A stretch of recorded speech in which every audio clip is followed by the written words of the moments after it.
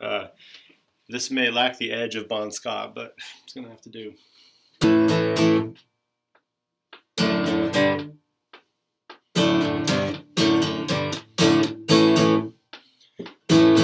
Living easy, living free, season ticket out.